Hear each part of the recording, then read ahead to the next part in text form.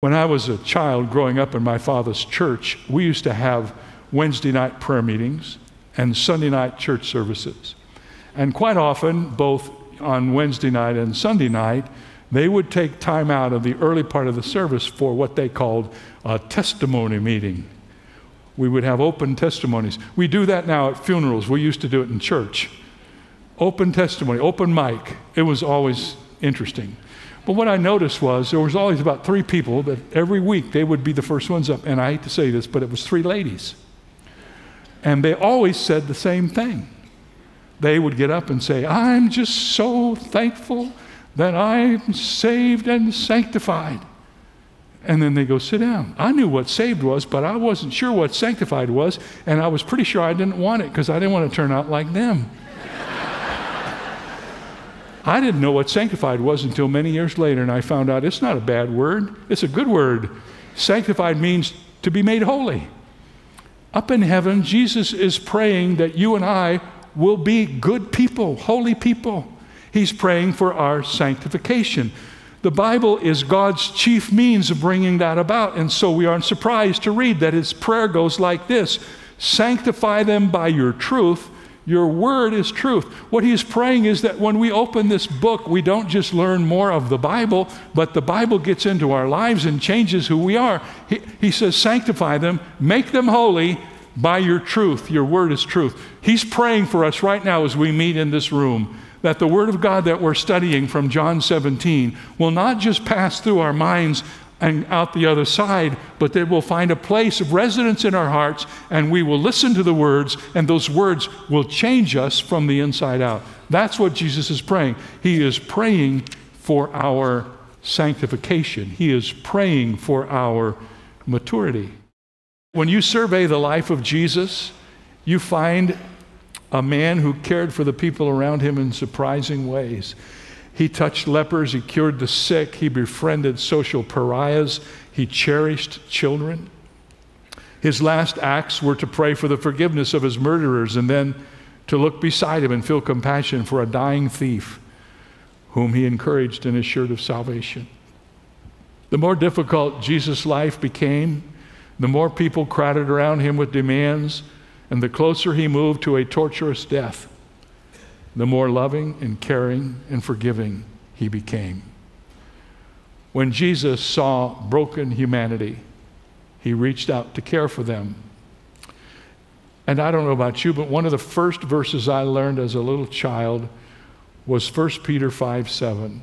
Cast all your care upon him, for he cares for you.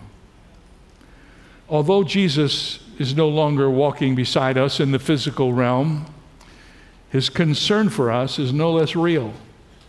And the Bible tells us that one of the ways he chooses to care for us is through prayer.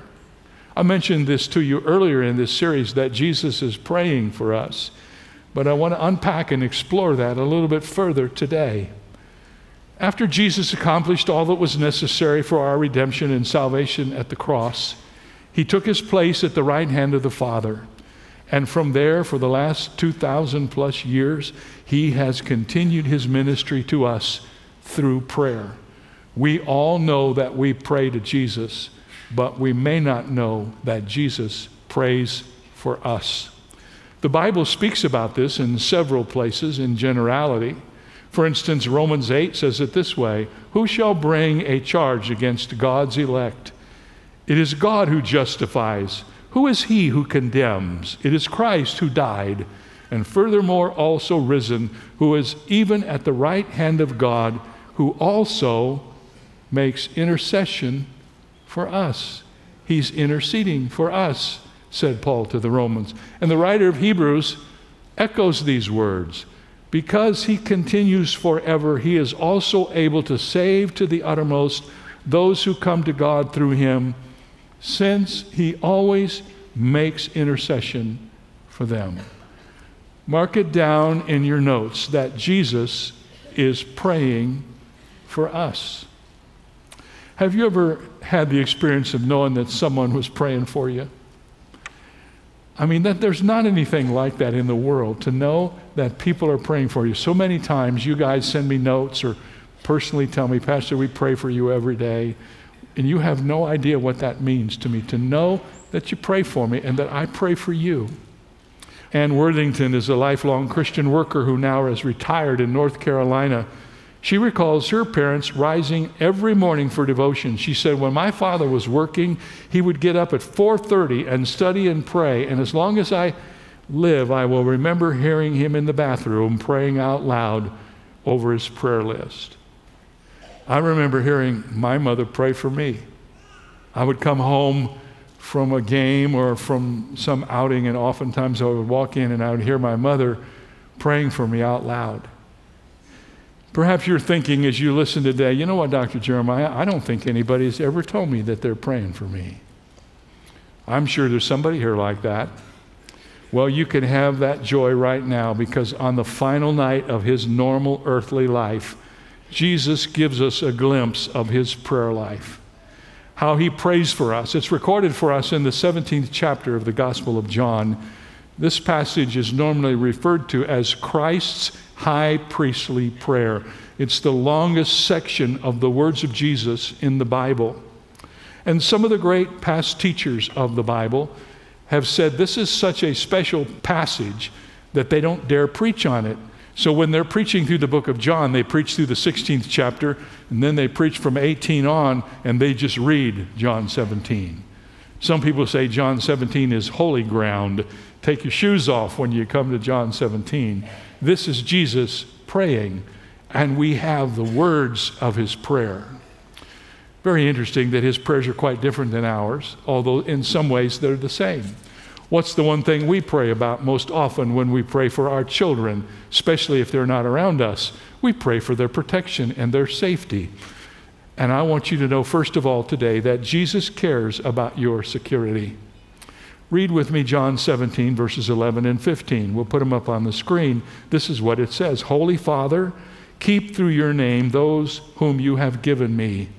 I do not pray that you should take them out of the world but that you should keep them from the evil one. In these verses, Jesus is praying that the Father would keep us secure in the world. Has there ever been a time in your history or mine when we've needed that more? To know that the Father is hearing prayers from the Son for our protection we are living in a dangerous world and a frightening world in many respects. But Jesus is praying for us. He's asking the Father to keep us safe as He Himself had kept His disciples safe while He was on this earth. The word keep is a wonderful word. It means to guard or watch over. I think of Jesus on one occasion. The disciples are out in the middle of the Sea of Galilee in the boat, and they're in deep trouble. There's a big storm while they're out in the boat, Jesus is up in the mountain. The Bible tells us he went up to the mountains to pray. And when they got to the moment of their greatest trial, Jesus comes to them in the midst of the storm because he'd been watching over them from the mountains. And when he wasn't in the boat with them, he was watching over them in prayer. And that's what he prays for us. Father, in the midst of their storm, in the midst of their difficulty, in this world, watch over them, protect them, and keep them. He's praying for your security, for your safety, and for mine. I look back over my life, and I'm sure you could do this as well. And I realized that there were many times when I was at a crossroads where I had a decision to make and I didn't know what to do. And if I had made the wrong decision, it would have changed everything about my life. I surely wouldn't be here today. I could have gone the wrong way. It was the indwelling Holy Spirit that brought conviction to my heart, kept me from doing the wrong thing. And oftentimes, when I was at a point of decision, I would be reading the Word of God, and a portion of God's Word would jump off the page into my heart. And it was like God was speaking out loud, and I would know, this is the way, walk in this way. And I would do the right thing. Where if I had been left to myself, I would have probably done the other thing. How many of you know as you look back over your life, you did a lot of things you didn't want to do, but they turned out to be the right things. But the one thing I'll never understand till I get to heaven is this. When the Holy Spirit has done all he can do to keep me out of trouble, and the Word of God has done all it can do to keep me out of trouble, there's still more. For up in heaven, next to the Father, is my Savior, and He's praying for me. He's praying, take care of Jeremiah down there in El Cajon. Don't let him do something foolish. Keep him from the evil one. Don't let him get caught up in something that could ruin his life. The Word of God and the Spirit of God and the prayer of the Lord at the right hand of the Father. Then in the next verse, Jesus asks his Father to protect us from the evil one. How many of you know that Satan is our accuser? He's called the accuser of the brethren. The Bible says he goes around like a roaring lion, seeking whom he may devour. He's trying to devour our testimony for Jesus. He can't devour our salvation because he has no right to take that from us. But he can destroy our reputation and destroy our influence for God. He's always about that, testing us and trying to get us to make the wrong decision. But did you know that the Lord Jesus is praying for us that we will not be overcome by Satan? The best illustration of that is in a verse of Scripture concerning Peter. Luke chapter 22, verse 31, Jesus is talking to Peter, and this is what he says Simon, Simon, indeed, Satan has asked for you that he may sift you as wheat, but I have prayed for you that your faith should not fail, and when you have returned to me, strengthen your brethren. God allowed Satan to sift Peter, but he did not allow Peter to fall through the sieve. And although Peter fell, his faith did not fail. What a reminder to us, men and women, that Jesus cares enough to pray us through our failures. All of us are men and women who have failed. We're not failures because we fail, but we have all failed in some way. And when we fail, the Bible gives us this encouragement that as Jesus prayed for Peter during his three point denial of Jesus, Jesus prays for us. Even, you know, we think, well, when we succeed, it's Jesus praying for us. No, when we're failing, Jesus is praying for us. And he prays us through our failures so that we get back to the place of fellowship with him. We don't fully understand the spiritual warfare that we face every day. We do not know all the ways in which the devil accuses us before God, but we have the blood of Jesus Christ pleading for us, and we have the one whose blood is pleading for us. Jesus protects us from the evil one. He shields us by his prayers and by the power of his blood. His prayers are a protective force around us. Jesus is praying for us. What is he praying? He's praying for our protection. He's praying for our security. Number two, Jesus cares about our sufficiency. Verse 13 of chapter 17 says, Now I come to you, and these things I speak in the world, that they may have my joy fulfilled in themselves. In verse 13, Jesus prayed that the joy he has might be fulfilled in us. He wasn't talking about just joy, but fulfilled joy, overrunning joy, abundant joy, sufficient joy. He was talking about Jesus' joy. Let me tell you, as you know, he's not talking about happiness. That depends on the happenings. He's talking about joy. That depends on Jesus. And Jesus' joy is so amazing. Jesus' joy is the answer to the Hebrew greeting, shalom. They tell us that the word shalom means more than peace, it means a sense of well being within a person. The joy of Jesus is that sense you have that no matter what's going on around you, the most important thing is okay. And in your heart, there's this feeling, this sense of the sufficiency of the joy of Jesus. I've seen this illustrated in so many believers, and I've even experienced it sometimes in my own life that during very troubling times and times that would normally take a smile off of your face, the inward Jesus puts joy in your heart that's beyond anything you can explain.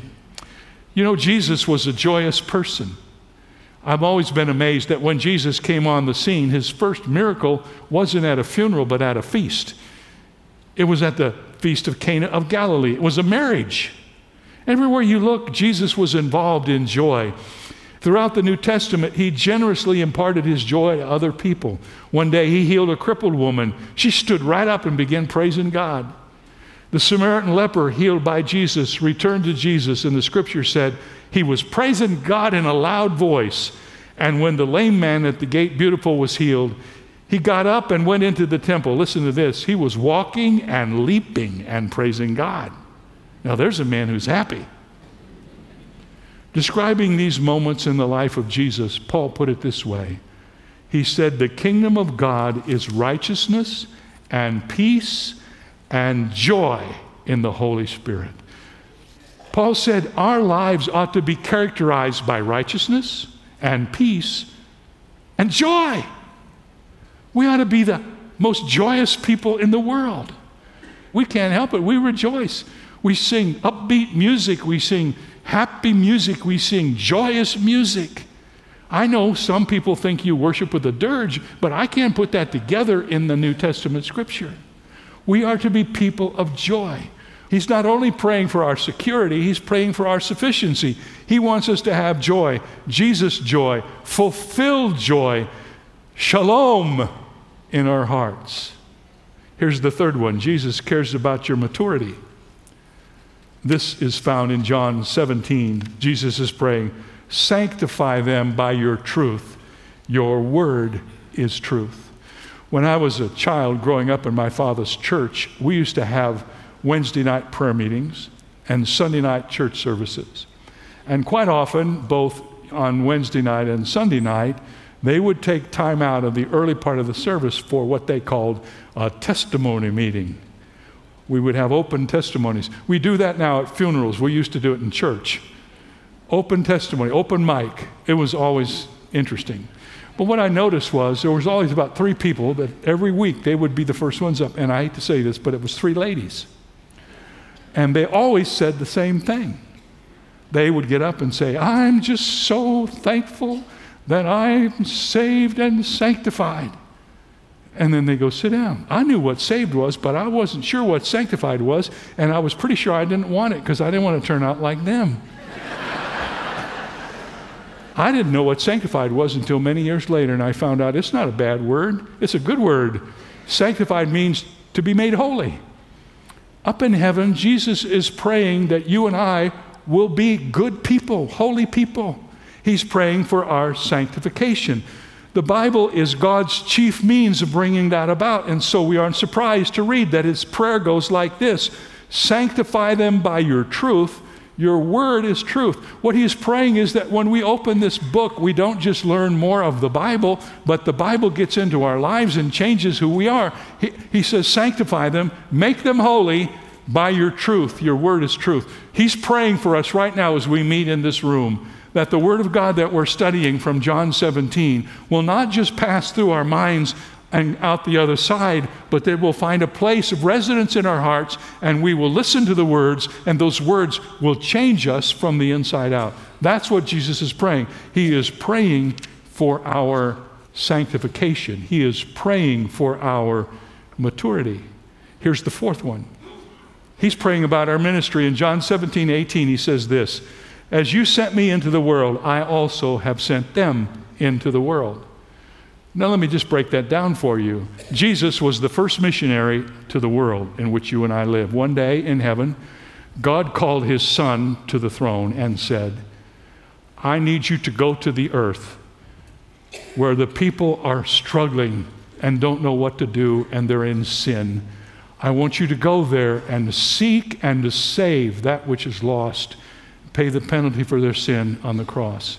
Now Jesus is saying to his Father, just as one day you sent me into the world, I am sending all of your disciples, including us, into the world with the same message to seek and save the lost.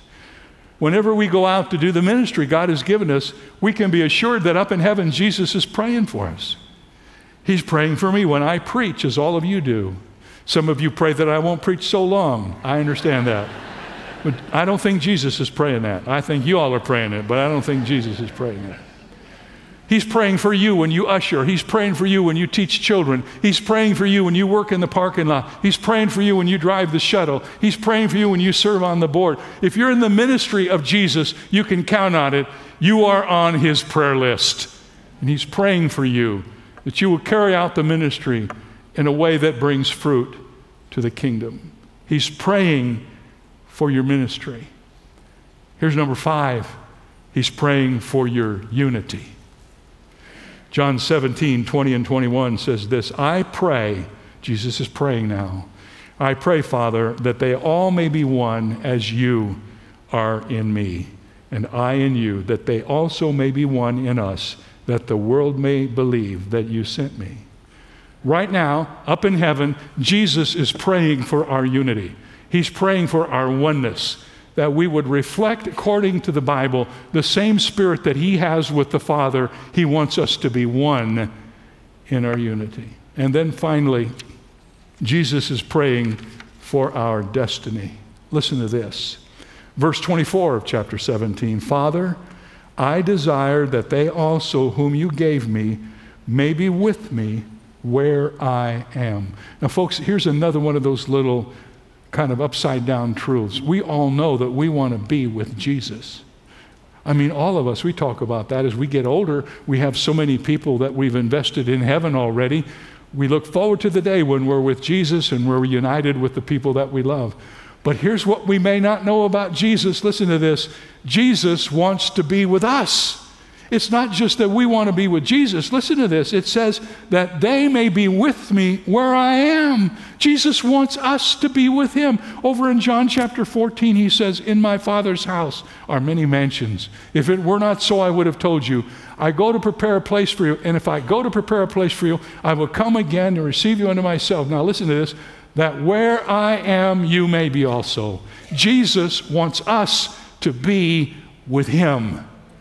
We want to be with him. We know that. But did you know that Jesus wants you to be with him way more than you want to be with him?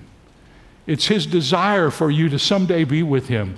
If you put your trust in Jesus Christ, there isn't any doubt about the fact that that will happen. The Bible says when you're a Christian, if you trust the Lord, absent from the body is present with the Lord. As soon as you take your last breath down here, you take your first one up there. And you're absent from your body, but you're present with the Lord. And the Lord Jesus is so looking forward to that that he prays about it in his prayers. It's on his prayer list that one day we will be with him. Prayer is an amazing thing. And the Father in heaven is hearing the prayers of his Son Jesus for you right now. When he prays for us, we draw near to him, he draws near to us. And he's praying for you right now. If you don't know Him as your personal Savior, His prayer is that you might come to Him and open your heart and receive Him. And if you're a Christian, I don't know what you're going through this week, but let me tell you something. Jesus is praying for you. You pray to Jesus, but Jesus is praying for you. He knows you better than you know yourself. He knows what your need is. And right now in heaven, before God's throne, He's interceding for you and for me. Hallelujah. Thank you, Jesus.